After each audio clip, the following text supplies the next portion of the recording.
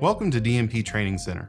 I'm Adam Barton, Corporate Trainer at DMP, and today we're going to talk about the multi-card format support on the XR panels. We recently updated our multi-card format to allow up to eight formats and allow you to choose between DMP format and whatever custom format you may need to use. Support for this was added in firmware version 192 of the XR panel. There are also firmware updates for keypads, 734s, and other devices, and you're going to see those on screen. The multi-card format allows you to use many different types of cards on the same system. And what we want to do next is just take a look at the keypad and see how that's set up. All right, well, we're here at the keypad and I'm gonna walk you through the multi-card format programming.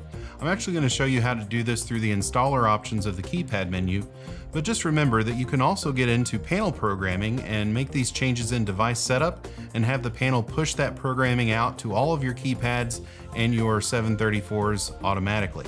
Okay, so now we're gonna go into the keypad installer options. Select options, hit our wrench, and at the enter code prompt, I'm going to enter 3577, and that spells out INST for installer. Once in here, I want to select my keypad options. And from here, we are looking for our card options setting. And here it is. So right now, this particular keypad is set to read cards in DMP format. If we need to change that to a custom format, all I have to do is select this, and now I'm given our three options, DMP, custom, or any.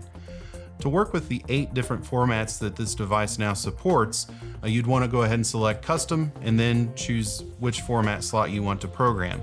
If you select any, then any valid Wiegand read will grant access at this particular device. Well, let's just go ahead and go into custom and, and run through the settings of, of one format at least. So let's just go ahead and program format number one. Right now it's unused, so like anything else, we're going to select that and give it a name.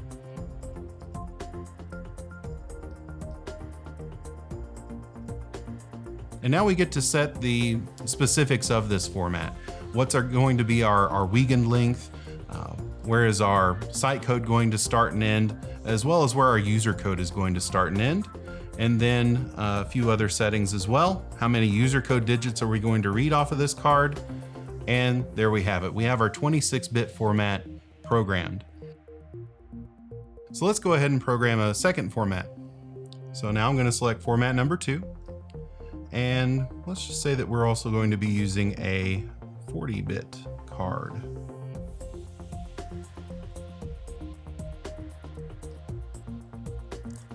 Wiegand code length, I'm going to adjust that to 40. I'll leave my site code the same.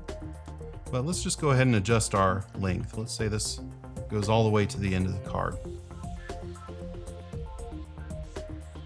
Notice now that I've increased my user code bits, that the panel is suggesting that I use a larger number of user code digits as well.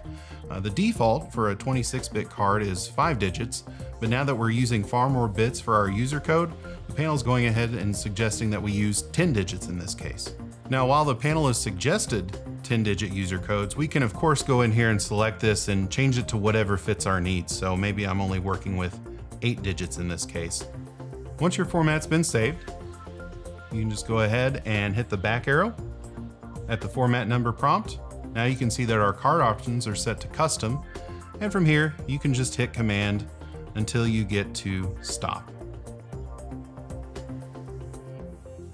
Well, I hope you found that informative. Uh, setting up custom card formats on our panels is a very easy process to follow. I uh, hope you have a great day and thanks for joining us at DMP Training Center. Thanks for joining us at DMP Training Center as we talk about multi-card format features of the XR Series panel. As Adam had already showed you, there's a lot of flexibility to the features, but we want to spend a little bit of time talking about what this means to you and your customers. So for example, now you have the option of choosing any DMP, or custom for your card format. And when choosing custom, you now have all eight slots available to choose up to eight different custom formats that will work on the DMP panel. So what this means to you when you're talking to your customer is that you're able to explain to them that as they're transitioning to the DMP control panel from what was previously there, if they have any mixture of various format cards that they want to continue to use, perhaps that's already being used by their customers or tenants, they can do that. Or if they had already purchased some cards that they have not yet used and they'd like to use them on the new system, they can go ahead and do that. And they can continue to use any mixture that they want. Or if they're gonna transition over to DMP credentials as well, then you can have a mixture. So the DMP credential can still be one of the eight slots, or it can be eight totally different formats that are available. So there's gonna be a lot of flexibility, but what this means to the customer is that they're able to upgrade to DMP, have it take advantage of all the different features that we provide without having to interfere with any of the existing credential holders' typical routine, having to get new cards or anything like that. They get to continue as normal. So thank you for spending time with us today. We appreciate your business. Have a great day.